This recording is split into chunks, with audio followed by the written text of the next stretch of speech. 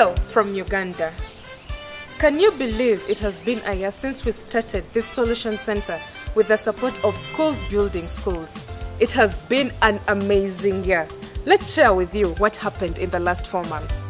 Hi, I'm Brenda. Good morning, Brenda. I'm grateful to be a vlogger. yeah. And my move is there. Uh-huh. yeah, I can see You're vlogging. Our team has really grown. Join me as I introduce to you the vloggers and other team members. So, here we are. Yes. Hello, I'm Nasari Sophie and I'm proud to be a youth vlog at Sound. Yes. Hello, Angel. Hi there, I'm Angel, and it's always exciting to be the girl on the camera. Yes. Lily. Hello, I'm Lydia. Today you can see um, I've just finished editing my third vlog. I'm so excited to share it for review, so you can join in. So that is the team of the vloggers, including me myself, and I'll be introducing to you another team on the other side. My name is Teddy Namazi and I work as the office administrator at Sawa World. Um, my name's are Iklai Winfred and I work with Sawa as a project director. Um, Dreams and the project is called Packed Women. My name is Sharifa Nanzi and I'm the monitoring and evaluation coordinator for the Sparked Women Dreams project. Uh, my name is Arthur Magom, and I'm working as an accountant coordinator here at Sawa World. I am working on um, these three projects of Dreams and also some part of uh, Sawa World Association. We also had a vibrant intern from Inside Global Education from Canada join the Sawa family in the last four months. During this period, Luji got to grow her skills in taking photos, filming different activities at the Solution Center, but also filmed and produced one successful story of a replicator called Shamila. Uh, after sour day like one month passed by and we have a group of women doing savings. Uh, the first group had 30 members. So i bought them a chemical. After saving i taught them how to mix the liquid soap and told them also not to stop there. They can even go and teach more women so I think a liquid soap, wow, it has changed me. Very early in the morning, I sold my 20,000 shillings. Now I'm going to pack more.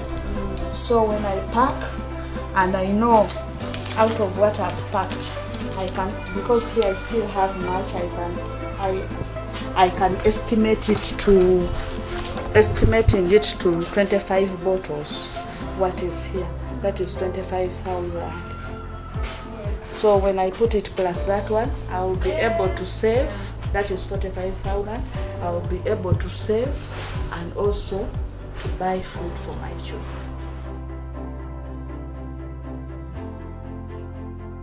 We've had a number of trainings with the vulnerable girls in four districts of Mityana, Mukono, and uh, Gomba, and um, they are appreciating the different solutions Sawa World and the other partners are bringing to them. So being in the workshops and seeing these girls learn the solutions and we already have a couple of people who have called and notified that they've started. This project has reached out to 1,846 girls in the last three months alone, and more are going to be trained in the course of this year and half of next year. In other developments, We have also continued to conduct different workshops around the Solution Center. Among these, we taught people how to rear chicken, how to do chicken rearing, how to do candle making, how to do African earrings, sandals, and eco-fuel stoves.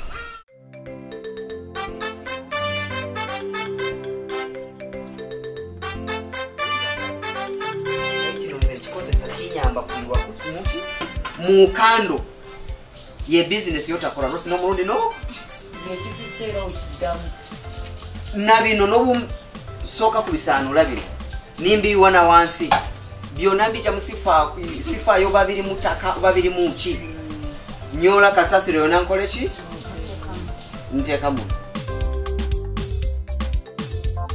Leero tubale tukola candles. N'omusomo guli omusomo sofa gwa kutaano kubanga nasookera ddala nenzija nensooka okusoma fuel saving stoves. Then nemala ne batusomesa urban farming naliwo then apart from urban farming nakola ne how to make african sandals. We really wanted to know the impact that we have created in people's lives as the result of accessing the Solution Center. In last year, December, we conducted a phone survey And we found out that 60% of the people replicated the different local skills that we taught them, and their lives were changed. With the impact we've created this year, we hope it really makes you proud, and we thank you for supporting us. From Team Uganda, we love you so much!